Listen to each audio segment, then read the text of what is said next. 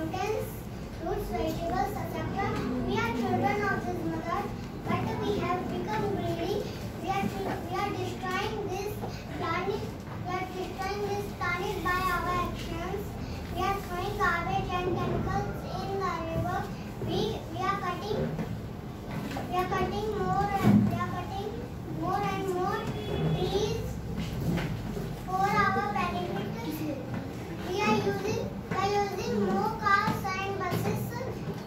which is spreading pollution.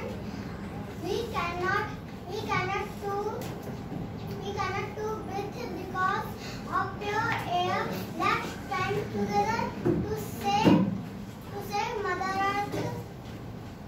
Because if Mother Earth because if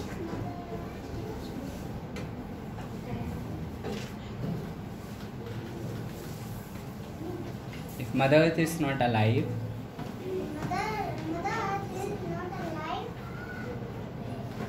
we will also die. We will also die.